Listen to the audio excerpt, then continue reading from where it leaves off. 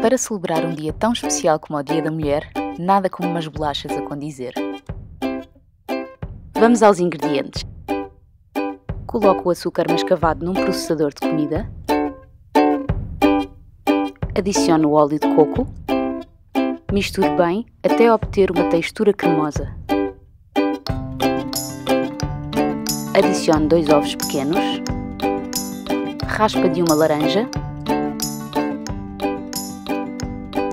Triture muito bem até emulsionar tudo. Adicione a farinha de trigo sarraceno, uma pitada de sal. Volte a misturar até obter uma massa densa para bolachas. Coloque alguma farinha numa superfície e trabalhe a massa durante alguns minutos.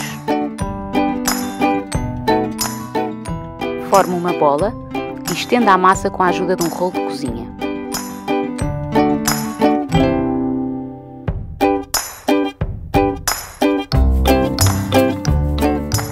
Com a ajuda de um copo ou de uma forma, recorte as bolachas da massa.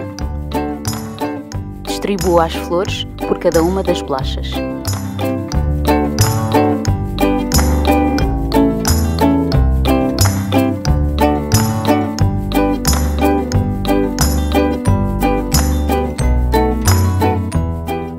Coloque uma folha de papel vegetal em cima da massa e utilize o rolo para decalcar as flores nas bolachas.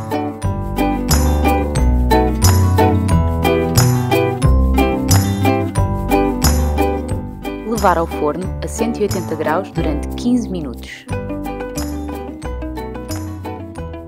Não ficaram um espanto e são deliciosas. Espero que gostem e feliz Dia da Mulher!